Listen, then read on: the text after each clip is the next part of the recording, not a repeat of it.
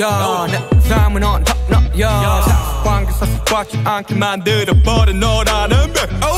하나부터 열까지. 모든 게 특별하지. 너의 관심사 걸음걸이 말투와 사소한 작은 습관들 같이.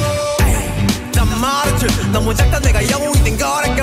Oh, 난 말했지. 운명 따윈 전부터 내게 아니었다고.